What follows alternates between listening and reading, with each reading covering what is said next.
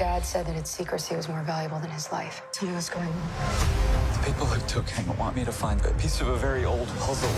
You're in my world now.